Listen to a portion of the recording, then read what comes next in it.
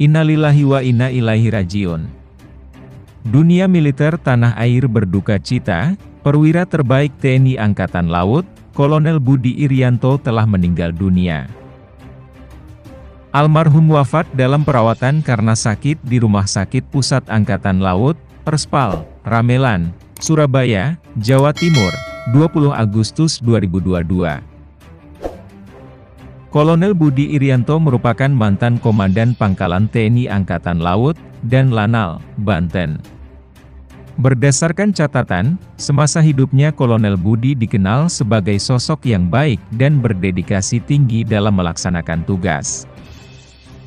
Penemuan 179 kg kokain Nama almarhum belum lama ini menjadi sorotan setelah keberhasilan Lanal Banten menggagalkan penyelundupan narkoba kelas dunia dengan jumlah terbesar di tahun 2022 ini. Jadi pada Minggu 8 Mei 2022, prajurit TNI Al anak buah almarhum dari Lanal Banten, Koar Madai menemukan plastik di perairan Selat Sunda tak jauh dari Pelabuhan Merak. Ada empat plastik ditemukan saat itu, kondisinya saling berdekatan. Di lokasi juga ditemukan sebuah pelampung.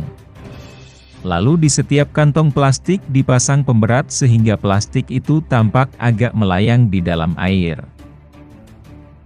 Plastik itu juga dikemas dengan sangat rapi sehingga kedap air.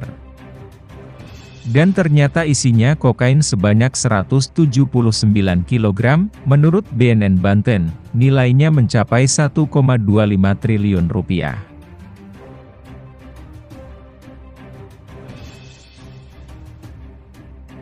Demikian sekilas informasi.